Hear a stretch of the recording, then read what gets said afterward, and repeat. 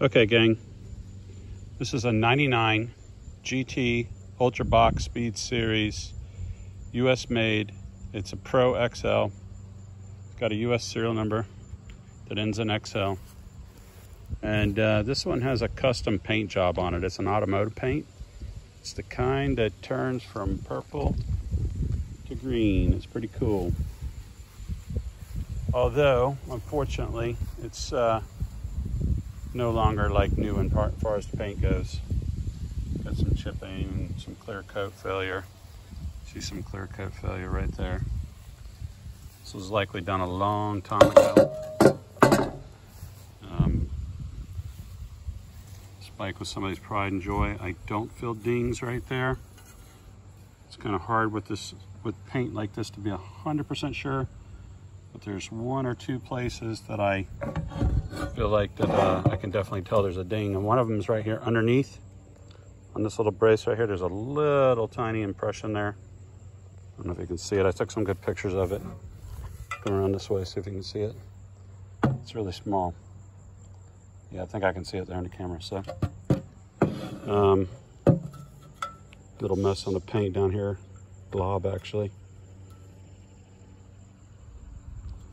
Little mist spot there on the bottom of the dropout.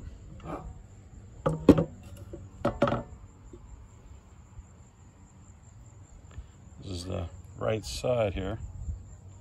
You can see that there is a pretty good area of clear coat failure right here and you can see a good chip in the paint. I don't feel that that's a dent. Um, some nicks over here in the paint can see, I guess that the chain was getting really close. And uh, it's a little bit rough right there, but don't feel like it's a dent or anything like that. I think you could sand that smooth. Um, if I look right here, that's uh, hard to tell if that's in the paint or not. Just the paint, I mean. Pretty good paint scraping right there. Those are pretty good there where the wheel got into the frame. It, uh, I don't know how thick that paint is, but you can feel a pretty good ridge there, so I don't know how much of that is just paint. Same thing here. Got your serial number right in here. See that XL? 99. And I've got a few other things to offer with it.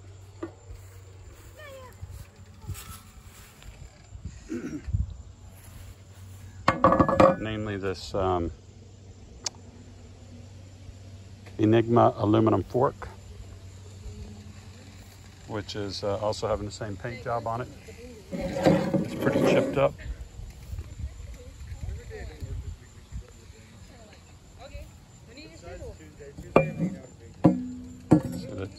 Oh, right there, that's got that's a ding.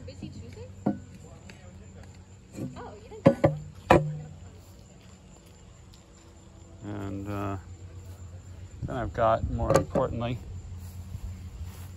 three other items. Some grips, which I believe to be Noah stock.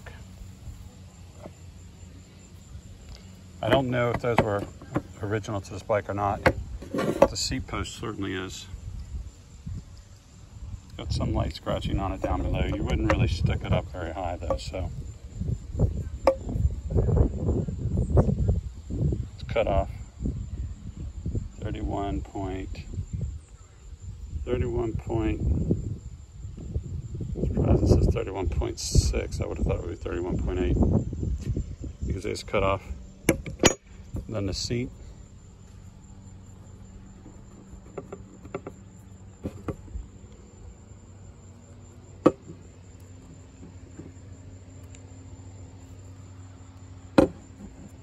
it's blazing hot out today.